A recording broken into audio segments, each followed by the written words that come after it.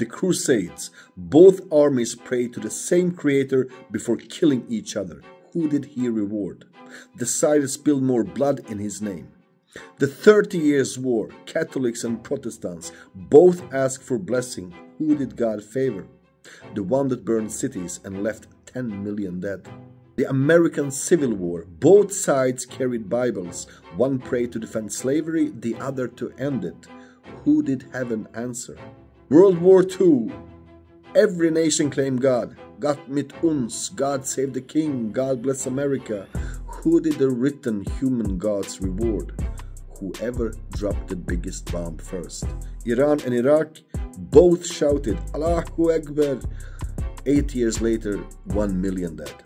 Every army prayed, every soldier felt dopamine, cortisol, and adrenaline. The gods, the written gods, stay silent. Only chemistry answered.